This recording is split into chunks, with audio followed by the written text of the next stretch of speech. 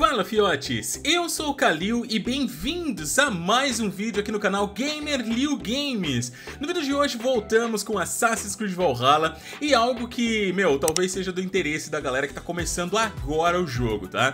Daqui pra frente nós veremos mais e mais promoções e é certo que quem não comprou o jogo é, lá no início, né, por ser um game caro sim, por conter aí os clássicos bugs iniciais, vão estar tá com os olhos voltados agora conforme o jogo vai se estabilizando, né? É para vocês esse conteúdo. Mas claro, se você também já tá jogando há um tempo e não conhece o que eu vou mostrar aqui, mano, só entra no barco e vambora. É uma coisa que muita gente me cobra, né? E eu já devia ter feito, mas desculpa, pessoal, acabei por fazer só agora quais as melhores armas iniciais do jogo. Tipo um, um, comece bem, tá ligado? Eu pretendo mostrar o que, na minha opinião, são as melhores armas iniciais para cada categoria. E se você tá começando o game, né? Vem comigo que vai dar bom. Lembrando que o vídeo ele tá todo categorizado e você encontra os atalhos na descrição para facilitar a sua busca, né? Pelo seu gosto de classe pessoal. Firmeza?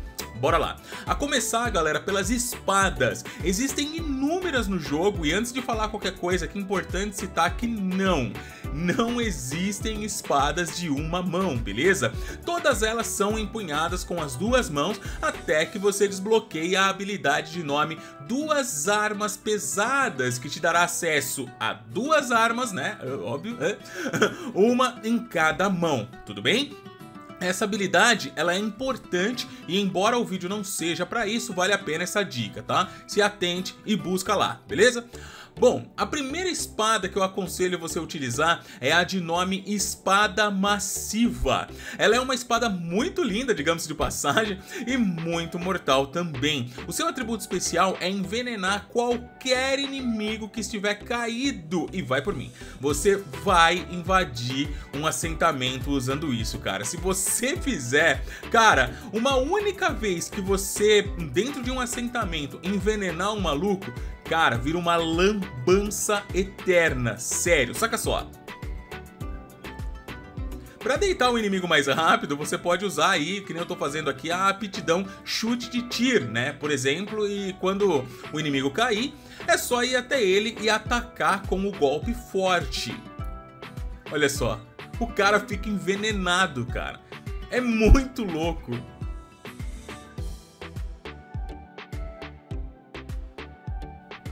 Meu, olha isso.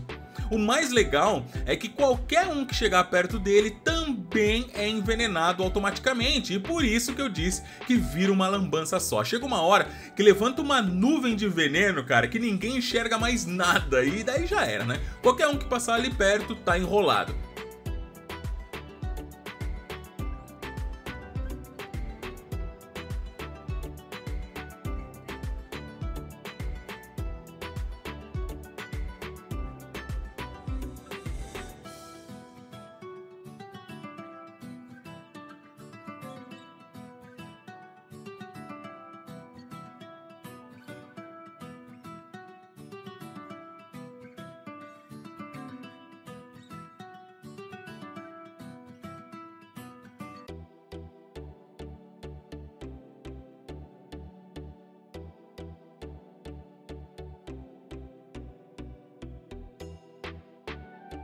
Olha só esse cara chegando e já ficando envenenado, ó.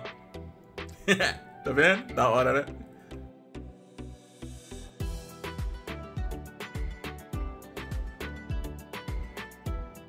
Olha esse outro.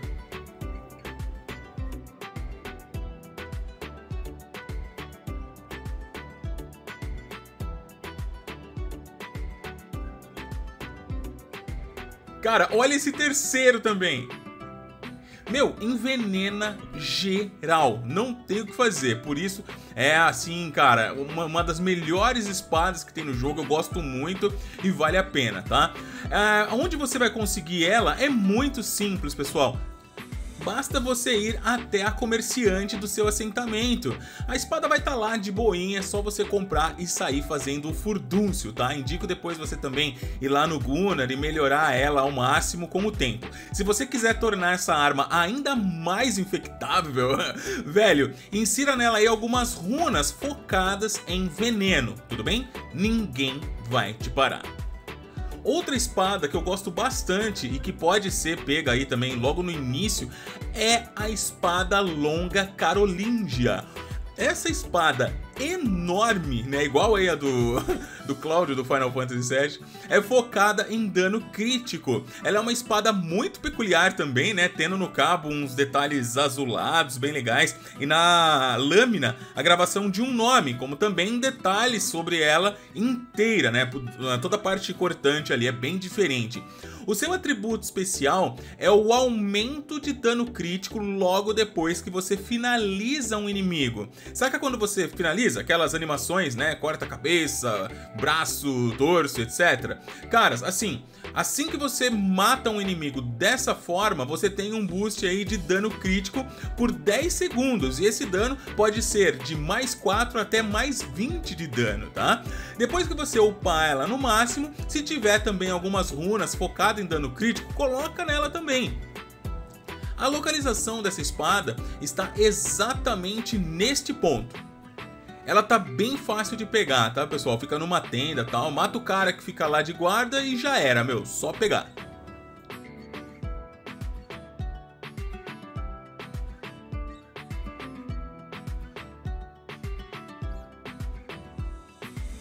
Martelos. O primeiro martelo que eu vou indicar para vocês que estão começando agora o jogo é sem dúvida o martelo de ferreiro. Esse de longe é uma das armas que eu mais curto no geral, tá? O porquê é que ela simplesmente deita todo mundo.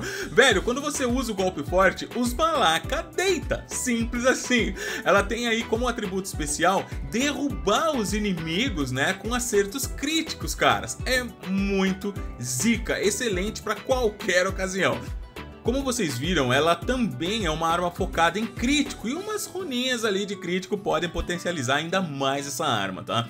A localização dela é exatamente neste ponto, na região de Lunden. Já fizemos um vídeo detalhando no canal tal, e o link vocês podem acessar no cardzinho que tá passando aqui em cima, beleza? Show de bola! Galera, escudos. Meu, Embora muita gente oriente o escudo guarda de Morrigan, né, ele não é o meu favorito, mas eu vou colocar aqui para que, né, caso você seja, esteja aí montando uma build de veneno tal, com certeza vai ajudar. Eu digo isso porque essa belezinha, que mais parece aí, né, tipo um artefato ISO, ela tem aí como atributo especial criar uma nuvem de veneno ela tem uma chance de 33% de criar uma nuvem e envenenar todo mundo que estiver por perto. Na minha opinião, um ótimo complemento para a espada Carolíndia, lembram? Vocês não acham? Né? Olha só na prática como é que funciona. Você tem a chance de acontecer, né, esse lance aí do veneno ao aparar, não é defender, tá, pessoal? Manja o parry, botão L1, LB, manja? E é esse cara que você tem que apertar e para gerar essa chance. Quando dá bom, saca só. Mano, louco demais, louco demais.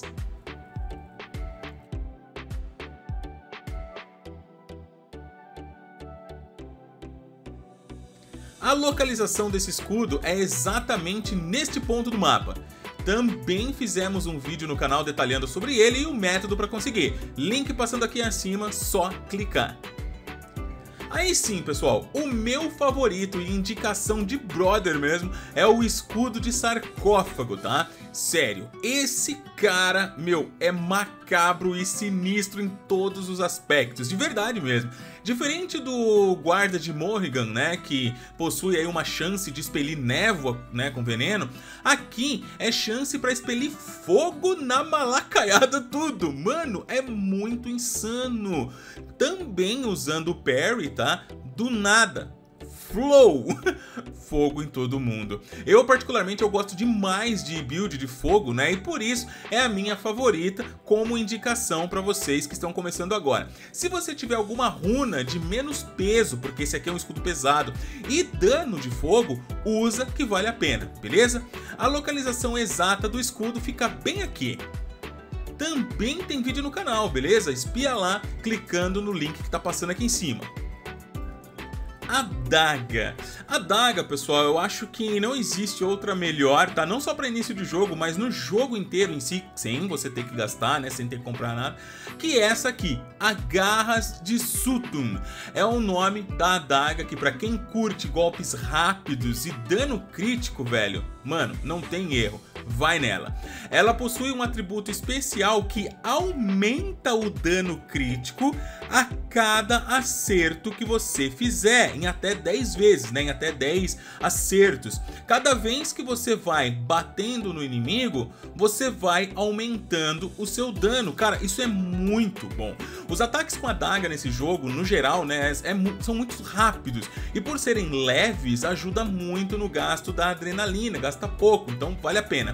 A sua localização fica exatamente neste ponto do mapa, tá? Bem onde fica esse xizinho aqui. Como eu já peguei, não tem o símbolo ali douradinho e tal, tá? Esse X é aqui. Você precisa entrar nessa entrada subterrânea para poder pegá-la, beleza? Machado Bárbaro o machado de uma mão, saca? Você já vai começar o jogo com um machado de bom tamanho, que é o machado do seu pai Varn, né? Um machado focado em velocidade, mas é legal sim você ter um segundo para aplicar né, aqueles golpes rápidos e quebrar qualquer escudo, como também desmembrar qualquer inimigo pressionando o L1, o LB, tá ligado? Bom, existe alguns, tá, que eu poderia estar indicando para vocês aqui no início do jogo, mas de todos eles, galera, de todos que eu já usei, que eu testei e tal, eu fico, meu, a meu voto vai pro machado de Hurskal, eu acho que é assim que fala. Ele é lindo para começar, e o seu atributo especial é o aumento no ataque a cada acerto que você faz, quase igual ali o da adaga, saca? Quanto mais você bate, mais forte você fica, e isso limitado também a 10 acertos igual a da daga. Esse boostzinho que você vai ganhar, né, esse aumento no ataque, pode ser de mais 1.5 a mais 15 de ataque, tá bom pra você? pra começar o jogo, galera, isso é ótimo, tá? Não precisa mais que isso. A localização exata desse machado no mapa fica aqui, é um local bem protegido, tá? Mas se você for na Mocó ali, meu, vai dar bom tranquilamente. Lembrando que tem uma chave ou mais que uma para você pegar. É, eu não tenho, eu não gravei isso porque quando eu cheguei aqui ela, ele já abriu para mim. Então pode ser que eu já tenha passado por aqui, já tenha pego as chaves e tal. Mas é só você usar, beleza? A visão de Odin nessa região que ele vai mostrar para você onde tá a chave. Você vai lá pegar e depois você vem para cá. Definitivamente, meu amigo, com essas duas crianças aqui, você monta a sua lenda. é, é, é fato, é fato.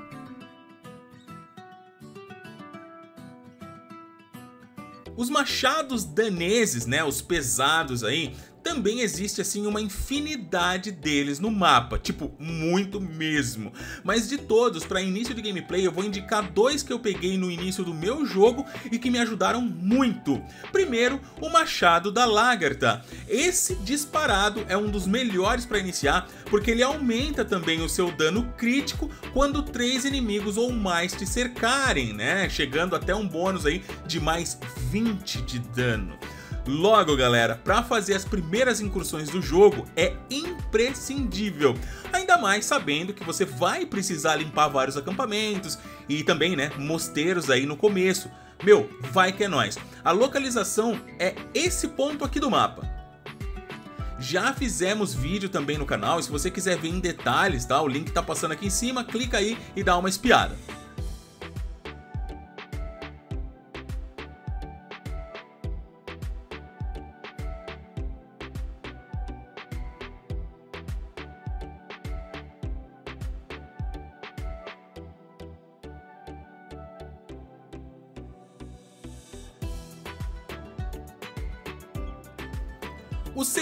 Machado que eu indico para vocês já é um clássico da franquia, porque ele tá presente nos três últimos jogos. Reaproveitamento da Ubi? Provavelmente.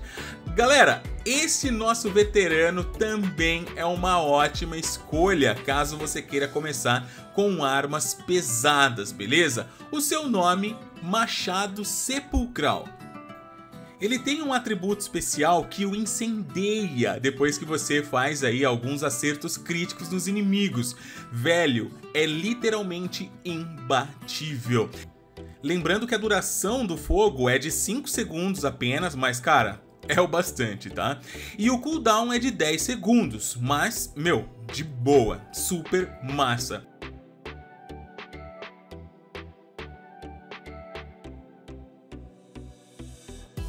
A localização desse machado fogueteiro é nesse ponto. Tá em chamas no jogo, cara? Vai dessa arma, fiote, beleza? Caras, finalmente aí vamos para as lanças. Aqui eu pretendo mostrar só uma, tá? Aqui eu usei pra caramba no jogo que me fez escolher lança como arma principal. Canino de Fafnir. Ela não dá aquele dano tipo uou, mas é início de jogo o foco aqui. Claro que depois você encontra outras, né? E faremos sim um vídeo focando na melhor arma para cada categoria do jogo todo, sendo em loja ou não. Mas o que eu gostei nela, pessoal, é o atributo atributo. Ele aumenta a chance de crítico quando mais de três inimigos te cercarem, igual, né, aquele machado danês que eu falei agora há pouco para vocês, tornando aí é, essa, essa arma, né, bem bacana para invasões também. Claro que invasões vários inimigos te cercam, então, cara, só vai. A localização dela não fica na Inglaterra, beleza? Você pode pegar ela ainda antes de vir para essa região, lá na Noruega. Ela vai estar tá exatamente neste ponto de Rigafolk. É uma caverna, você entra nela e segue o fluxo até chegar uh, onde hoje né, eu tenho aqui um X, porque eu já coletei esse item. Mangual. Pessoal, olha, eu não vou mentir pra vocês, tá? Eu comecei a usar o mangual e eu desisti. Eu achei, no geral, uma arma muito lenta, tá? Mas eu aceito sim dizer que é excelente para quebrar os escudos e defesa dos adversários. Quando você usa ele sozinho, só um, saca só. Mano, esse tempo que ele demora para ficar girando tal, meu, meu, mata o papai, fi. Os malacas já deitaram deitaram e rolaram enquanto eu fico aqui encebando com essa arma. Então, assim, eu não gosto. Mas o legal é você usar dois. Aí sim começa uma sequência até mais aceitável para mim, tá? Por conta disso, eu vou indicar dois aqui para vocês que, na minha opinião, pode ser interessante para quem quiser começar a Valhalla usando esse tipo de arma, tá? O primeiro dele é o Mangual do Soldado, mas deveria ser o Mangual do Boi, porque parece um culhão isso aqui. Vai dizer que não. Cara, muito zoado. Caras, esse mangual, ele tem aí a vantagem de um boost de velocidade quando você estiver com a vida quase cheia. Não é lá grande coisa, mas ele vai servir de apoio, né? Pra, com, com a sua velocidade, vai servir de apoio com a velocidade para o próximo mangual que eu vou mostrar para vocês, tá? Para deixar ele ainda melhor, você pode colocar uma runazinha aí de velocidade nos dois que eu tô indicando.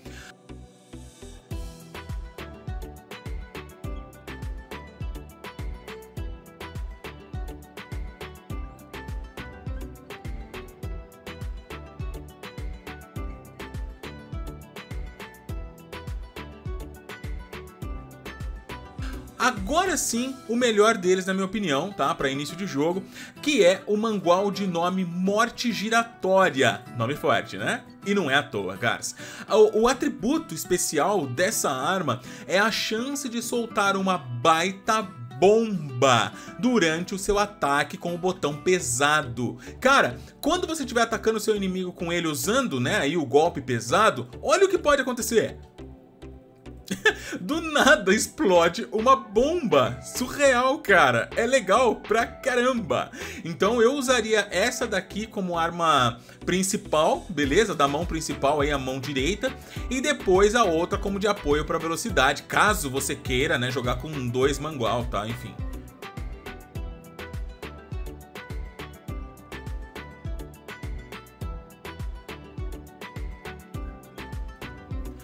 Finalizarmos, os arcos. Em Valhalla nós temos três classes de arcos, pessoal. Os leves, predadores e arcos de caçador. A diferença entre eles são os métodos de uso, tá? Os leves disparam aí uma quantidade grande de flechas rapidamente,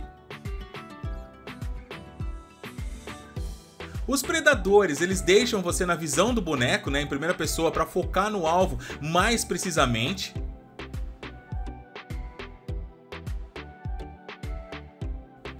Caçador, que seria aí o padrão que conhecemos em qualquer jogo de terceira pessoa que usa arco e flecha, tá? Eu vou indicar para vocês um de cada categoria para que vocês escolham aí a classe e testem no início do jogo cada um deles, beleza? O primeiro é o arco de Predador por nome Ferrão.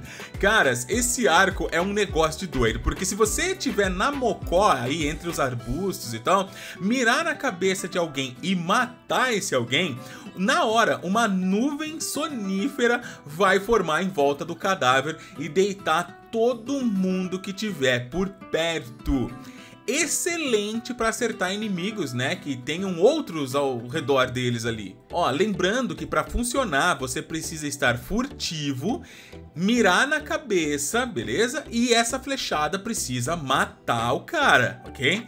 Para conseguir esse arco, pessoal, basta você ir na, na tenda que existe ali no seu assentamento. Tá lá, o arco leve que eu indico é o da Víbora. Embora tenha esse nome, ele não possui qualquer atributo de veneno, tá pessoal? Ele aumenta em até 30% a sua chance de um ataque crítico após cada acerto que você fizer com os seus disparos rápidos, tá? Ele é outro arco que está disponível lá na tenda do assentamento para venda.